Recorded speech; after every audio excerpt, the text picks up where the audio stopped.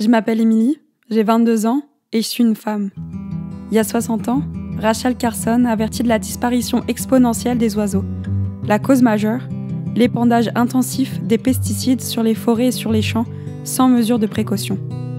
Aujourd'hui, je pars à la rencontre d'une femme en sciences engagée à préserver une des plus grandes richesses de la Terre, la diversité des écosystèmes. Parce qu'il y en a plein, encore aujourd'hui, des Rachel qui changent le monde.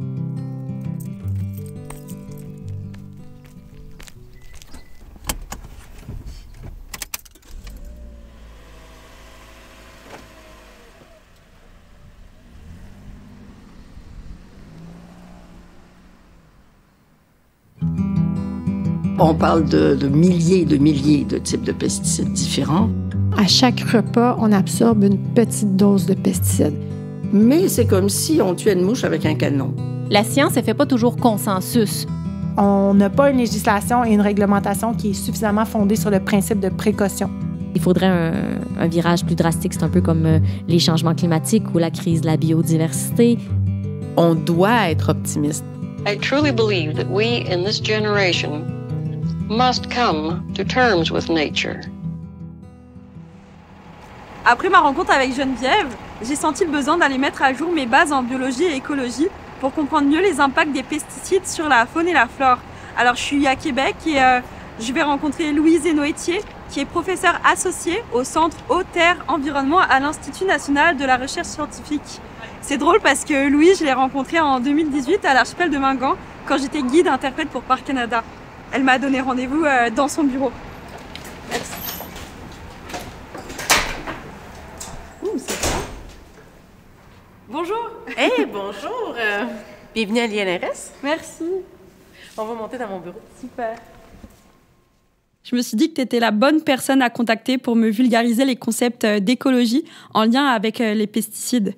J'aimerais savoir, ça a été quoi un peu ton parcours personnel et professionnel pour arriver dans ce bureau-là? Ah, ben, moi, j'ai toujours aimé ce qui était vivant. Quand j'étais petite, à 5 ans, euh, j'ai appris que le mot biologiste désignait les scientifiques intéressés euh, par le vivant. Donc, euh, j'ai décidé d'être biologiste. Dès l'âge de 5 ans, j'avais mon petit laboratoire dans mon sous-sol.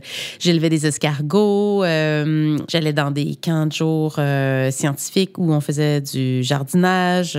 on capturait des insectes pour les identifier, comprendre comment ils vivaient dans, dans les écosystèmes. Donc, j'ai toujours été fascinée par euh, les insectes, euh, la production euh, alimentaire. Grâce à ces initiations-là, en fait, j'ai, en rentrant à l'université, choisi vraiment mon parcours universitaire en biologie. Alors, j'ai fait un bac avec une spécialisation en écologie. J'aimais comprendre comment le vivant interagit avec son environnement. Et puis, après mon bac, j'ai été faire une maîtrise euh, en sciences multidisciplinaires.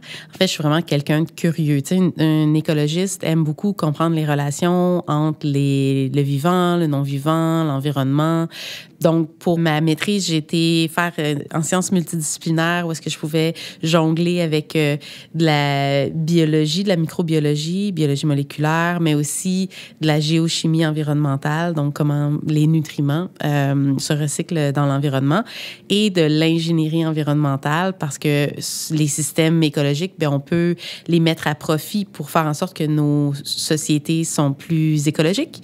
Mon doctorat était en sciences de l'environnement. Travaillé dans des euh, champs de maïs et de soya en grande culture, des champs de, de culture euh, génétiquement modifiés qui étaient traités aux herbicides à base de glyphosate euh, pour éradiquer les, mauvaises herbes. Puis l'objet de mon doctorat, c'était de vérifier comment est-ce que les herbicides à base de glyphosate voyageaient depuis les champs vers les cours d'eau et est-ce qu'ils étaient interceptés et retenus à travers des bandes riveraines végétalisées. Ensuite, au post-doctorat, j'ai décidé de me retirer un peu des milieux de grande production agricole parce que j'ai réalisé que on pouvait pas freiner les pesticides simplement avec des végétaux euh, en bande riveraine. Donc, je me suis questionnée pourquoi est-ce qu'on fait autant de maïs et de soya? Si c'est pour nourrir le bétail, euh, est-ce qu'on peut faire autrement? Donc, euh, réduire notre consommation de viande ou encore élever notre viande avec autre chose que des céréales issues de la monoculture. Fait que j'ai décidé de travailler en valorisation des matières organiques à l'aide des insectes comestibles. Donc euh, voilà, c'est ça mon, mon parcours. C'est très euh, multidisciplinaire, puis euh, c'est vraiment toujours axé sur quels sont les services écologiques que la nature peut nous livrer, puis comment est-ce qu'on peut optimiser ces services-là pour nourrir le monde, puis avoir des villes plus écologiques.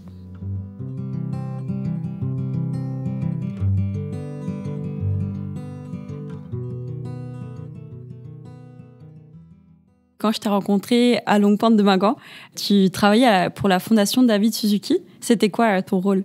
J'étais chef des projets scientifiques à la Fondation David Suzuki. Donc, euh, en terminant mon doctorat, euh, je me suis fait approcher par différentes personnes qui montraient qu'il y avait un poste qui semblait tout désigné pour moi. Donc, c'était un poste où je menais des différents projets de recherche, où je contractais des scientifiques pour mener des, des projets de recherche. Je faisais des partenariats avec des universités, des chercheurs du gouvernement. Et beaucoup de ces recherches-là visaient à euh, consolider nos connaissances là où il y avait des trous dans notre compréhension scientifique du monde pour éclairer la prise de décision publique. Donc, pour alimenter, par exemple, des euh, changements de politique, de loi, de règlement, donc, ma science était vraiment à l'interface entre euh, la, la, science et le transfert de connaissances vers les instances décisionnelles, mais aussi le grand public, parce qu'évidemment, le grand public a un rôle à jouer quand le public est sensibilisé, il demande des changements. Donc, mon rôle, c'était vraiment comment développer des projets de recherche pour répondre aux enjeux de société et je jonglais avec différents enjeux. Mais bien entendu, à cause de mon parcours euh, universitaire, notamment mon examen doctoral avait porté sur euh, l'évaluation de la toxicologie des pesticides les plus vendus au monde, puis les controverses qui entourent cette homologation et l'utilisation de ces produits-là. Un de mes gros dossiers, c'était les pesticides. Donc, c'était ça euh, mon rôle à la Fondation David Suzuki. Et là, ça fait récemment, tu as, changé d'emploi parce que là, aujourd'hui, on est à Québec à l'Institut national de la recherche scientifique. Qu'est-ce que tu fais ici? Oui, j'ai été recrutée euh, il y a un peu plus d'un an à l'INRS euh, pour agir à titre de directrice du centre euh, Eau, Terre, Environnement. Donc, à titre de directrice du centre, ben, j'ai une équipe de 36 professeurs, chercheurs et tous leurs étudiants. la mission de l'INRS, c'est de faire de la recherche qui est au service du développement du Québec, entre autres le développement économique, mais aussi répondre à des enjeux de société majeurs comme la protection de l'environnement. Donc, dans l'équipe de professeurs que je dirige ici, euh, il y a des professeurs qui travaillent notamment sur les pesticides. Il y en a qui vont travailler sur les enjeux euh, toxicologiques, euh, les enjeux de perturbations endocriniennes, les mélanges de pesticides, les effets sur les organismes dans les écosystèmes, donc des gens qui vont faire du transfert de connaissances aussi pour la prise de décision. Et ça, c'est mes tâches administratives. Évidemment, là, j'aide euh, en fait le Centre Haute Terre Environnement à accomplir son plan stratégique, euh, les orientations scientifiques. Fait qu'il y a plusieurs axes. Là. On a des gens en sciences de l'eau, en sciences de la terre, en télédétection, en biologie, des gens qui s'intéressent aux poissons et tout. Et donc, ça, c'est ma charge administrative. Mais je suis aussi professeur associé à l'INRS, un chapeau qui me permet de continuer à faire mes recherches, mes activités de transfert technologique dans les domaines qui me passionnent, dont toujours les solutions inspirées de la nature pour résoudre des enjeux environnementaux. Donc, je continue à travailler euh, notamment en recyclage des matières organiques, euh, réduction des pesticides, euh, croissance végétale par les phytotechnologies.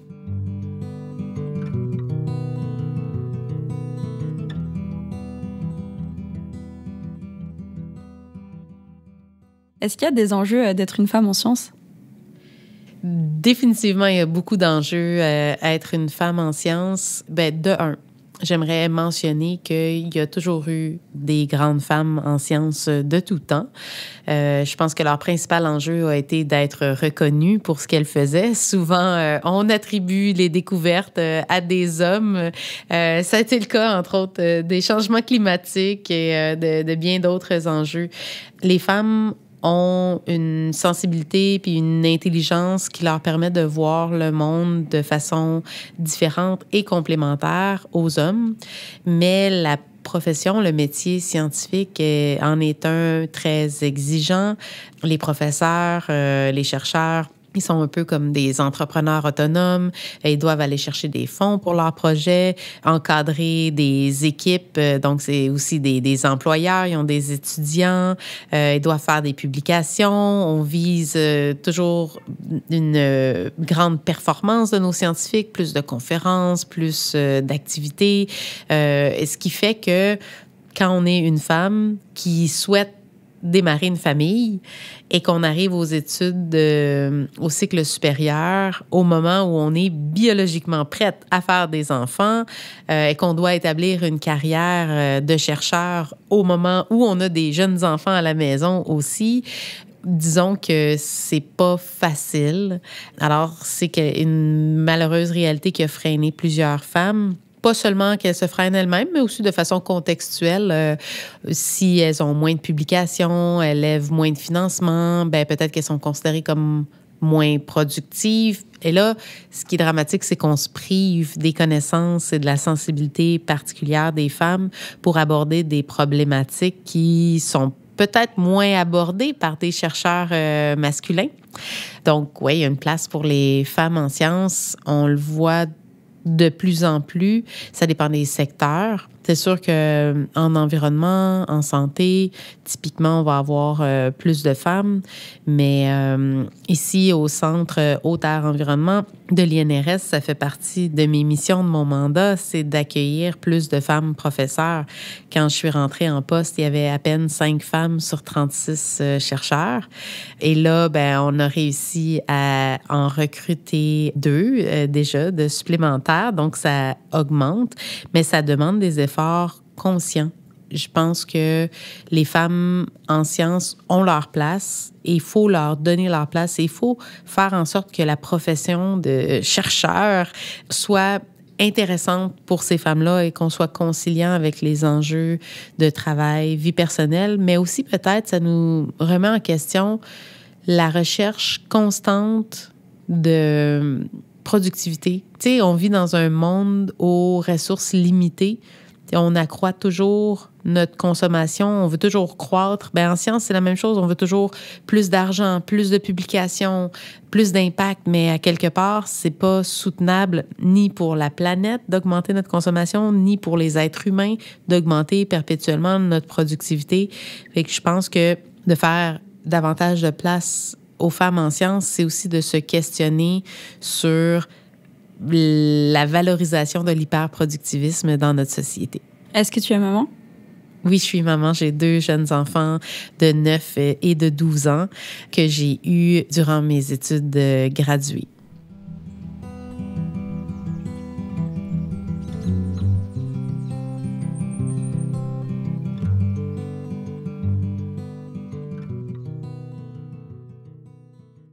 L'écologie, en fait, s'intéresse euh, au vivant, à l'interaction entre les organismes d'une même espèce ou d'espèces différentes ou des populations, euh, des communautés.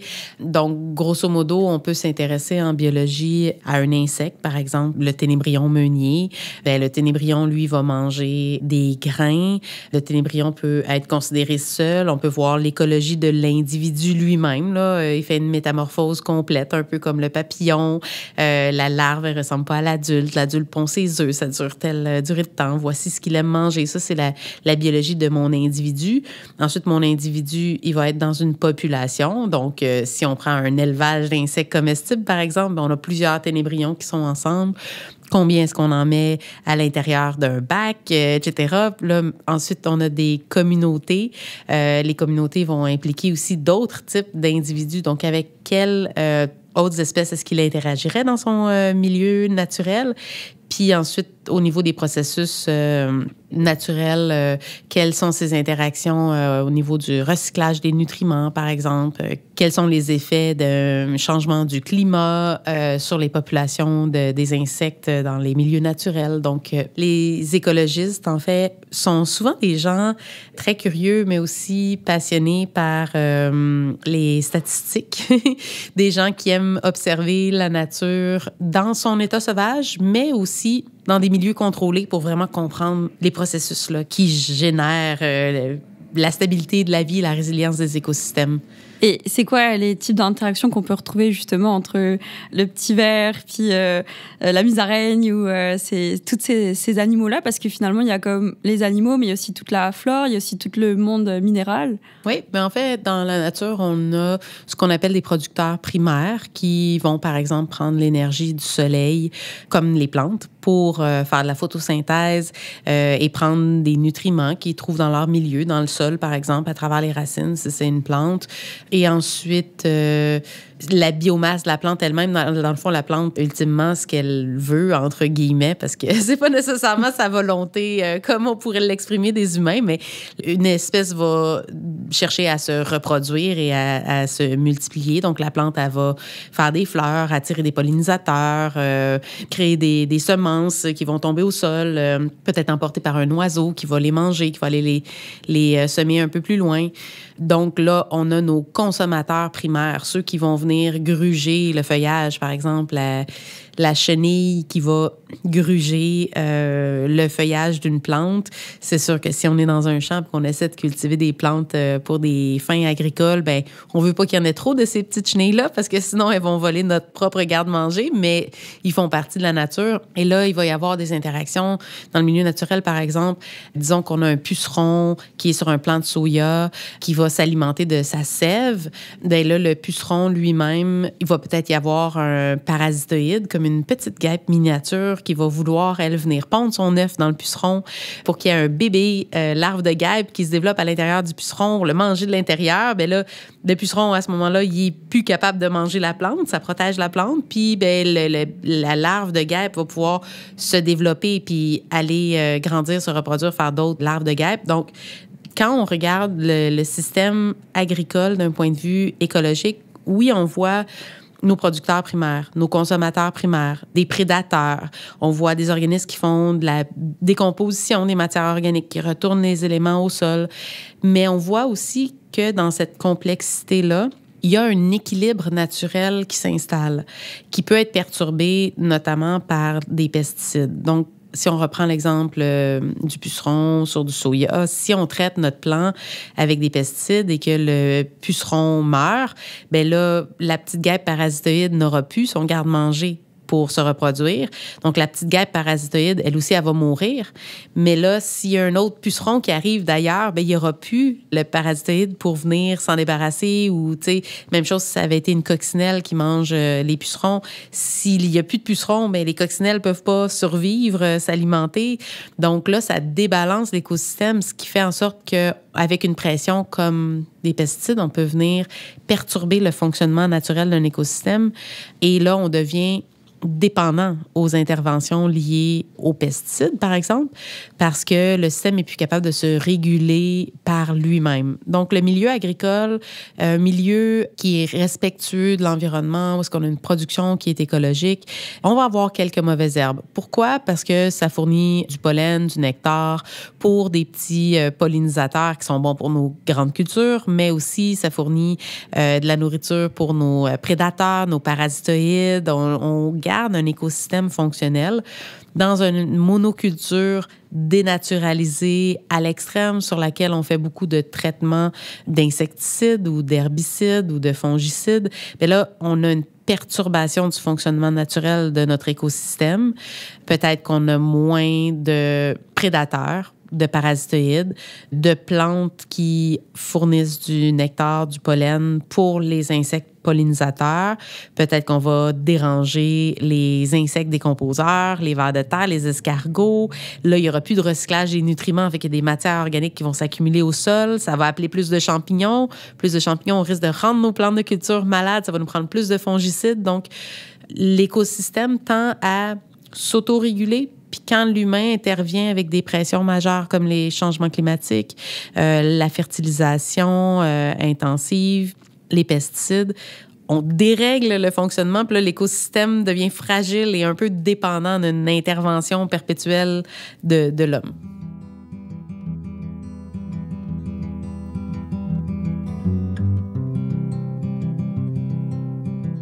Sur des portions de plus en plus nombreuses du territoire américain, le retour des oiseaux n'annonce plus le printemps et le lever du soleil naguère rempli la beauté de leur chant est étrangement silencieux.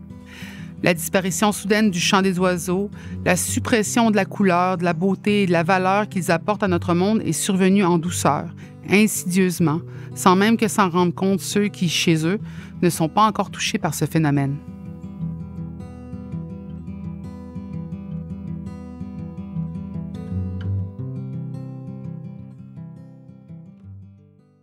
Quand justement il y a un déséquilibre de l'écosystème, c'est quoi euh, concrètement qui va nous alerter? Ah ben définitivement, quand on n'entend plus les oiseaux chanter, euh, c'est euh, un, cri d'alerte. Il y a des espèces qui peuvent être considérées comme des, des indicatrices ou des sentinelles. les gens, malheureusement, s'intéressent peu aux insectes, qui sont par ailleurs euh, fascinants. Mais les insectes sont à la base euh, de la chaîne alimentaire de plusieurs écosystèmes.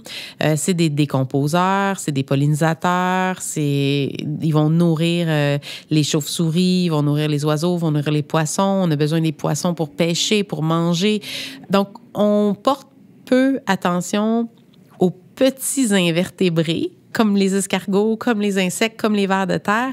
Mais quand il s'absente d'un écosystème, on voit rapidement les répercussions sur ceux qui s'en nourrissent.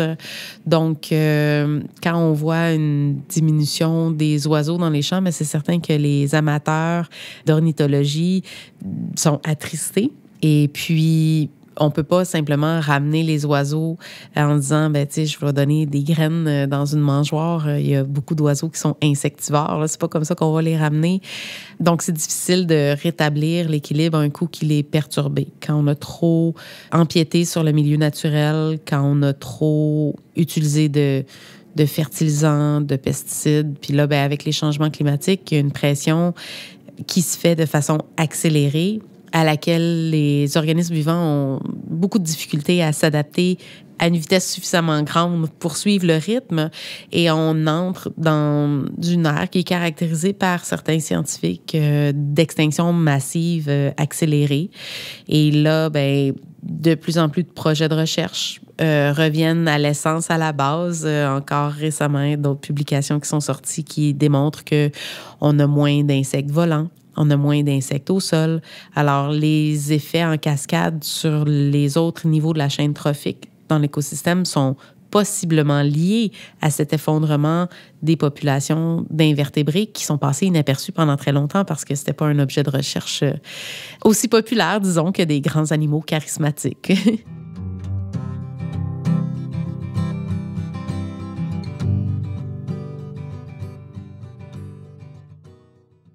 dans son livre, euh, Rachel Carson, euh, été choquée de voir euh, à quel point il y avait un épandage massif de pesticides sur les forêts. Puis elle, elle est américaine, donc ça se passait aux États-Unis, c'était il y a 60 ans. Est-ce qu'au Québec, est-ce que c'est la même chose? C'est quoi la réalité aujourd'hui euh, par rapport à ça?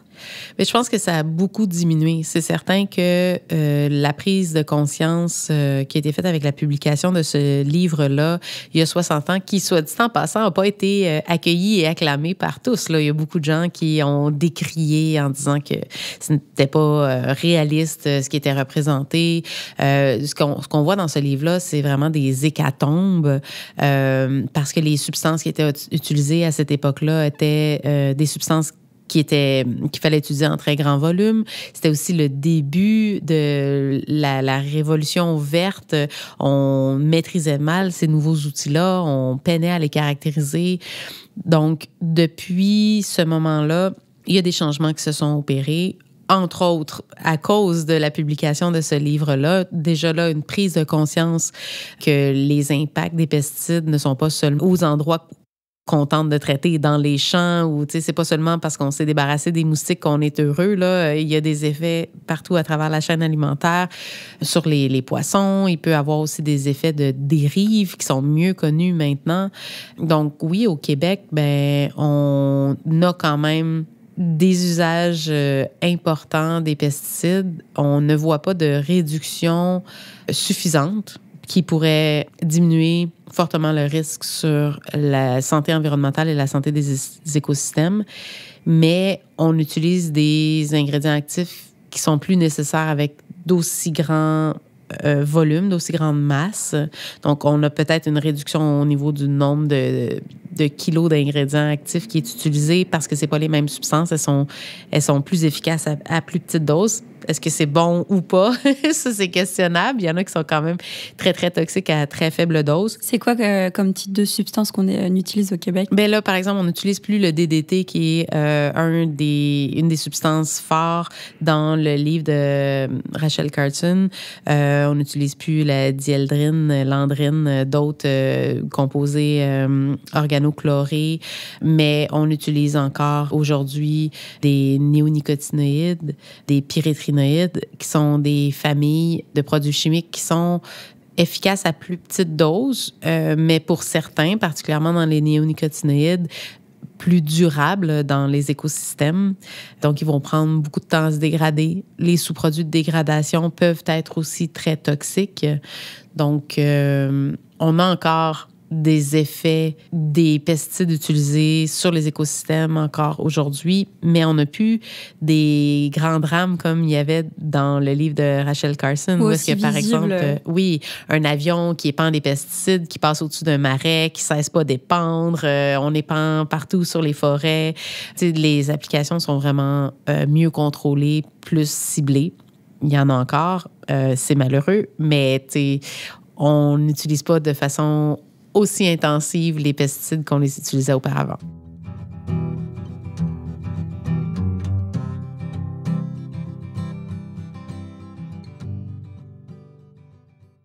Tout à l'heure, euh, on parlait des catons. Euh, Rachel, on en parle beaucoup euh, dans le livre. C'est quoi un peu les symptômes qu'on va voir chez les oiseaux quand ils sont intoxiqués? Bien, les symptômes vont dépendre non seulement de l'animal concerné, mais aussi de la substance à laquelle il est exposé. C'est certain que pour une exposition à des insecticides, par exemple, l'oiseau pourrait ingérer une semence traitée avec un insecticide, par exemple, euh, ou manger un insecte euh, sur lequel il y a eu de l'insecticide vaporisé. Donc, les symptômes varient dépendamment quel était l'ingrédient actif, mais typiquement, les insecticides sont, affectent le système nerveux. Donc, on va voir des symptômes d'un impact sur le système nerveux apparaître. Ça peut être des mouvements incontrôlés, euh, des spasmes, des contractions musculaires.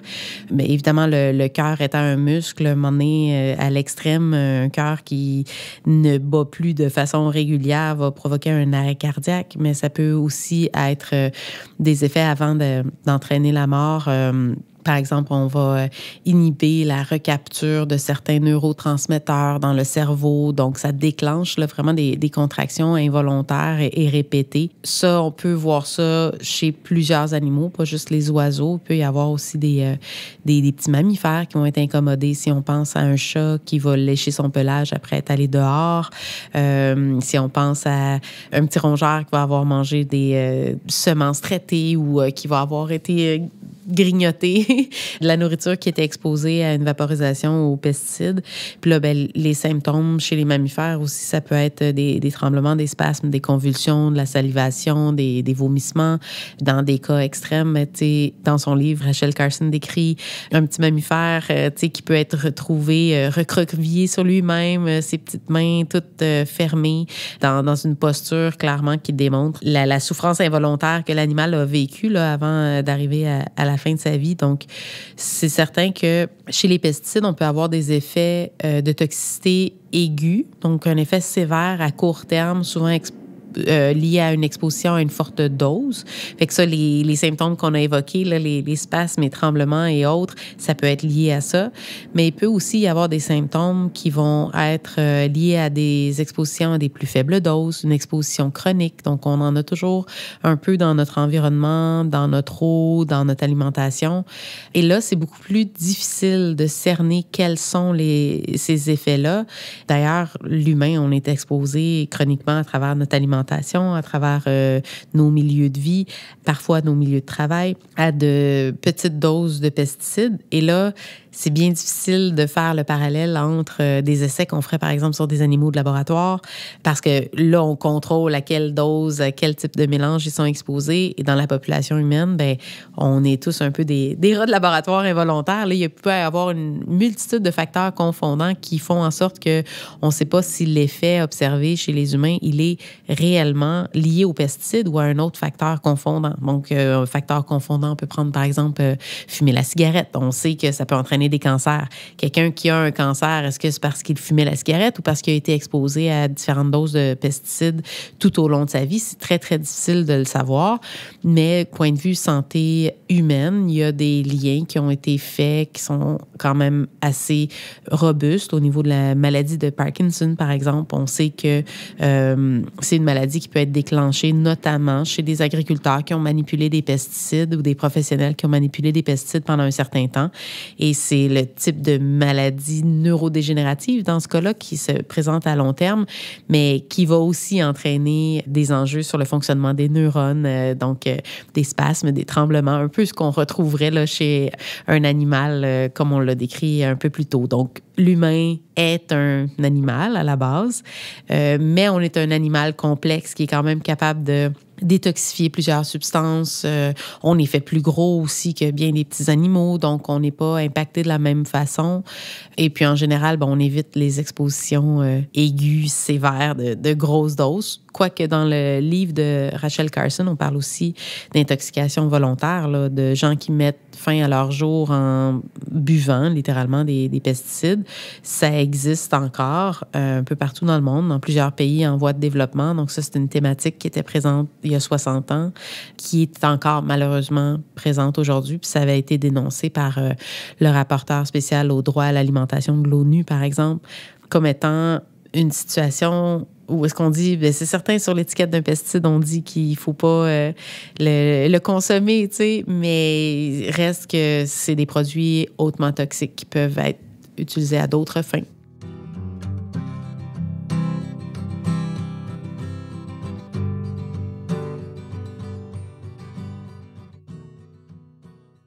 Rachel Carson, elle se base, oui, sur des études scientifiques, mais elle se base beaucoup aussi, euh, j'étais vraiment euh, surprise à quel point elle se base d'expérience et d'observation euh, des citoyens.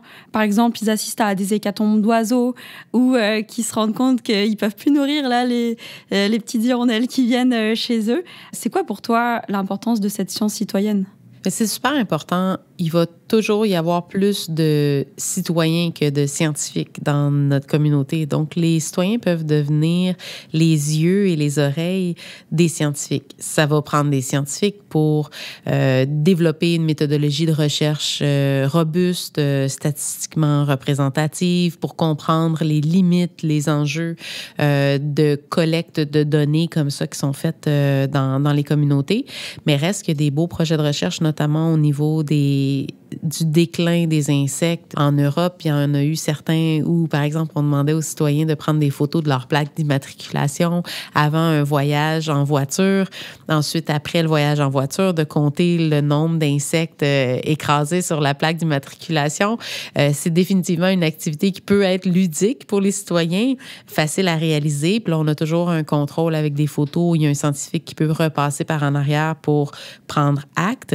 Mais les scientifiques eux-mêmes n'auraient jamais les moyens d'aller sillonner toutes les campagnes d'un pays pour mesurer ce genre de choses-là. Puis à travers des projets citoyens comme ça, bien, ça nous permet de constater qu'il y a un déclin des populations d'insectes volants dans certaines régions du monde euh, et que c'est un déclin qui peut être multifactoriel, bien entendu, euh, mais on a suffisamment d'évidence scientifique pour nous proposer que les pesticides sont fortement associés à ça, mais aussi la perte d'habitat, euh, le changement climatique.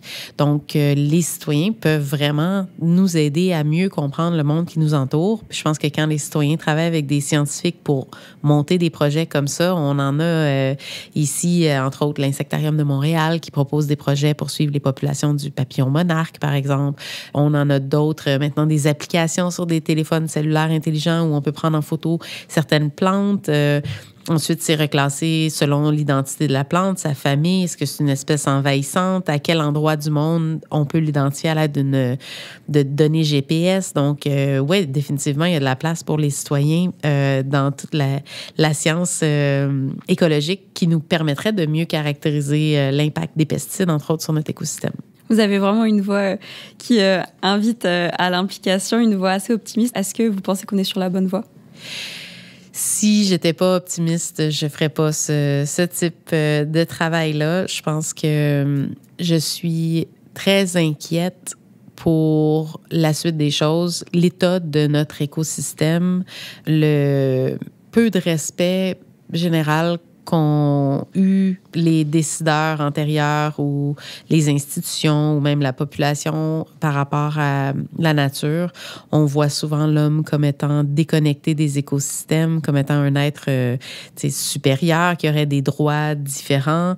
Et ça fait en sorte qu'on ne se soucie pas autant de chaque des petits maillons de l'écosystème qui sont pourtant essentiels à notre survie.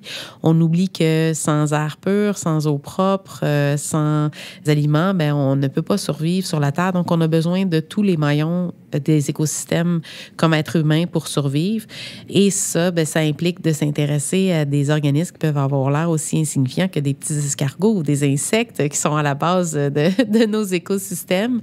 Je pense que on doit être optimiste parce que depuis la publication de Printemps silencieux, il y a eu un, appel à la conscientisation énorme et ça s'est transmuté dans une prise d'action politique, citoyenne et aussi des institutions, même des, entreprises. Il y a de plus en plus d'entreprises qui tendent à avoir des pratiques euh, éco-responsables. On inclut maintenant aussi là-dedans la, la justice euh, environnementale au niveau des, des populations elles-mêmes, parce qu'on sait que les conséquences euh, de l'utilisation des pesticides ou des changements climatiques sont plus sérieuses pour les populations vulnérables. Donc, euh, je pense qu'il y a beaucoup d'opportunités pour que chacun s'engage selon son champ d'intérêt d'expertise, qu'on soit un artiste, qu'on soit une enseignante, qu'on soit un politicien, un optométriste, euh, tu sais, dans toutes les sphères de la vie, chacun peut agir pour mieux protéger les écosystèmes et c'est quelque chose qui est en train de se passer les citoyens se mobilisent, euh, ils passent à l'action. Est-ce que c'est trop peu, trop tard? On peut se le demander, mais moi, je suis optimiste. Je vois vraiment que les choses ont bougé depuis la publication de Printemps silencieux, mais aussi juste à ma petite échelle à moi, depuis que j'ai commencé à m'engager comme scientifique pour comprendre le monde qui nous entoure, puis éclairer la prise de décision publique à, l'aide d'évidences scientifiques. Euh, il y a des choses qui ont bougé. On a des règlements qui sont plus sévères, qui encadrent mieux euh, l'utilisation de certains pesticides. On a aussi des professionnels qui veulent diminuer l'apparence de conflits d'intérêts, par exemple, pour ce qui a trait à la prescription des, pesticides. On a une reconnaissance des maladies professionnelles des agriculteurs comme le Parkinson. Je pense que en peu de temps, il y a eu beaucoup d'actions d'entreprise. On vit pas dans le même monde que nous décrivait Rachel Carson, même si à certains égards, il y a des enjeux qui reviennent, euh, dont on ne s'est pas totalement extirpé, mais je pense qu'en continuant à agir, on va y arriver. Merci beaucoup, Louise. Ça fait plaisir.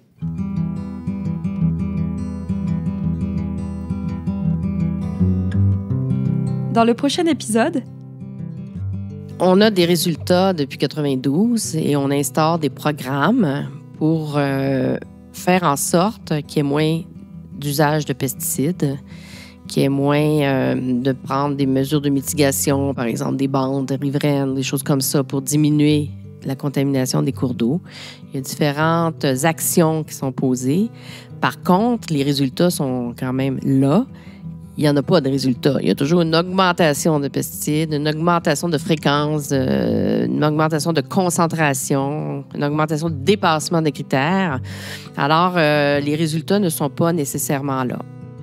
Vous venez d'écouter le balado des Rachel qui changent le monde. Ce balado original a été créé par Vigilance OGM et coproduit par Pivot Média. Ce projet n'aurait pas eu la même portée sans l'aide pro bono de Geneviève Rajotte-Soriol de Bleu Forêt, coop de communication. Merci à Jean-Philippe Villemur pour le mixage, à Pauline Steve, l'illustratrice engagée, Daniel Cardin, bénévole pour la conception musicale. Merci à Gabrielle Brassard-Lecourt, cofondatrice de Pivot, à la supervision du balado. Merci à Léa Villalba pour son expertise de journaliste chevronné. Léa et Daniel ont réalisé les prises de son.